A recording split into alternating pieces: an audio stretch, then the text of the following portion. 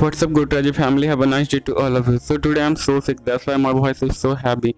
Anyway, before I'm going to spill the tea, please like this video and subscribe to my YouTube channel.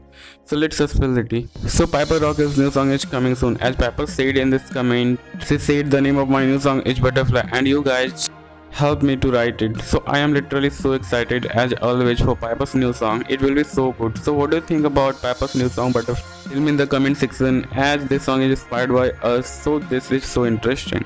So now I'm going to talk about Jacob Magnus and Lexi Jexi breakup. So Jacob Magnus and Lexi recently broke up. I really like them together. They were so cute together. All fans are also sad like me. So fans said I am in pain right now. They were so cute though. Another fan said that bro, what the freak has 2020 got into? I hate 2020 so much. I mean really, 2020 is one of the worst years of our history.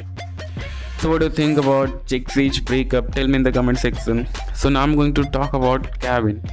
So I thought Cavin is obviously back together because we have seen a lot of cute Cavin moments recently. But this comment got me thinking. It says Coco better make a move. Then Coco replied to this comment and she said Gavin can first.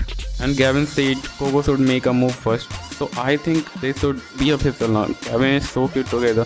I love Cavin. So what do you think about Cavin? Who should make a move Tell first? in the comment section please. Peace out. Bye.